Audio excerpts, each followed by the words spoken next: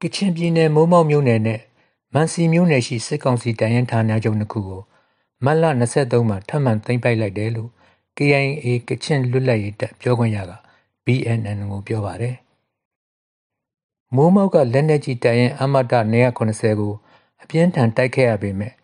မန်စီက မိုင်းခေါင်ကျေးရွာရှိ ခလာရ121ကတော့ ဝင်မတိုက်ခင် ထွက်ပြေးသွားတယ်လို့ KIA ပြောခွင့်ရ ဗိုလ်မှူးကြီးနော်ဘူးကအခုလို ပြောပါတယ်။ မနေ့ကနောင်ဂွန်မှာတက်ဆွဲထားတဲ့အမြောက်တက်ပေါ့နော်အဲ့ဒါ390အပြီးပိုင်တင်ပိုက်လို့ရပါပြီရှိတော့ဘူးအမ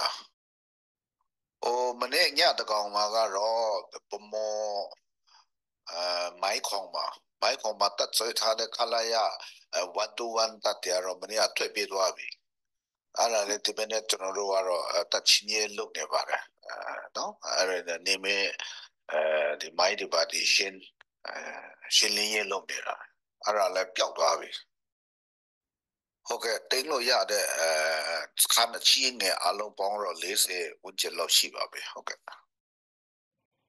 ဟာ3ရက်လောက်အတွင်းလိုင်စာအနီးကဘီဝါကုန်းနှစ်ခုတရင်ဌာနချုပ်၄ခုကိုဇက်တိုက်သိမ်းပိုက်ခဲ့တာဖြစ်ပါတယ်စစ်ကောင်စီဘက်ကအကြအဆုံးနဲ့သိမ်းမိလက်နက်တွေကိုတော့ဘုံမူကြီးကထုတ်မပြောခဲ့ပါဘူး ကရင်ပြည်နယ်ဖားဆောင်ဘက်ကိုစစ်ကူလာတဲ့စစ်ကောင်စီစစ်ကြောင်းကိုဒေသခံတော်လှန်ရေးပူးပေါင်းတပ်ကကြားဖြတ်တိုက်ခတ်ခဲ့တဲ့အတွက်စစ်ကောင်စီဘက်က15ဦးသေဆုံးပြီးလက်နက်၅လက်သိမ်းမိတယ်လို့ PDF စေုံချုပ်ကသတင်းထုတ်ပြန်ပါတယ်။မလ20ရက်နေ့မှာဘောလခဲမြို့နယ်ရှိတပ်စခန်းကနေဖားဆောင်ဘက်ထွက်လာတဲ့စစ်ကောင်စီတပ်ကိုပါပူကျေးရွာအနီးကြားဖြတ်တိုက်ခတ်ခဲ့တာဖြစ်ပြီးတိုက်ပွဲချိန်9နာရီအထိကြာတယ် စစ်ကောင်စီဘက်ကလေကြောင်းပစ်ကူတုံးတဲ့အထိတိုက်ပွဲပြင်းထန်တယ်။ဗျူဟာမှုအပါအဝင်9ဦးတန်ရာရပြီး16ဦးသေဆုံးတယ်လို့ထုတ်ပြန်ချက်ကဆိုပါတယ်။ဒီတိုက်ပွဲမှာပါဝင်တဲ့တော်လှန်ရေးတပ်တွေကတော့ KAKNI တပ်မတော် KNDF KNI အမျိုးသားများကာကွယ်ရေးတပ်ကလာလာတပ် PDF အလဲပိုင်းတိုင်းစစ်ဌာနချုပ် PDF ကရားတိုင်းစစ်ဌာနကတပ်တွေဖြစ်တယ်လို့ထုတ်ပြန်ချက်မှာဖော်ပြထားပါတယ်။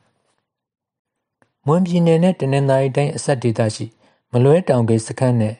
မင်းသားကျေးရွာပြူစစ်တပ်ပူးပေါင်းစခန်းကိုတော်လိုင်းတပ်တွေက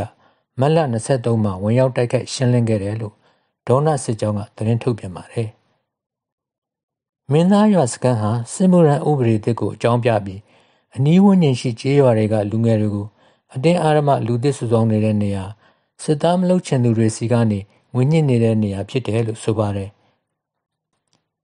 ဒီစခန်းမှာပြူစစ်တပ်အင်အား80ခန့်ရှိပြီးစစ်ကောင်စီဘက်က10ဦးသေဆုံးကစခန်းကိုမိရှို့ရှင်းလင်းခဲ့တယ်လို့ထုတ်ပြန်ချက်ကဆိုပါတယ်။ခီးသွွားပြည်သူတွေစီကနေငွေညစ်နေတဲ့မလွဲတောင်စစ်ဆေးရေးဂိတ်ကိုတော့ဒရုန်းနဲ့တိုက်ခတ်ခဲ့တာဖြစ်ပါတယ်။ဒီတိုက်ခိုက်မှုနှစ်ခုကိုတပြိုင်နက်တည်းဆောင်ရွက်ခဲ့တာလို့ထုတ်ပြန်ချက်မှာဖော်ပြပါတယ်။ဒီစစ်စင်ရေးအတွင်းပါဝင်တဲ့တော်လှန်ရေးတပ်တွေကတော့ PDF ဒေါနစစ်ကြောင်း ရေးပြောက်ကြားတပ် YGF ကံပေါက်ဒေသပြည်သူ့ကာကွယ်ရေးအဖွဲ့ KBDF ABSDF ကျောင်းသားတပ်မတော်တရင်1 PDF တဝဲခရိုင်တရင်1နဲ့ဒေသခံတော်လှန်ရေးတပ်တွေဖြစ်တယ်လို့ထုတ်ပြန်ကြမှာဖော်ပြထားပါတယ်ခင်ဗျာ။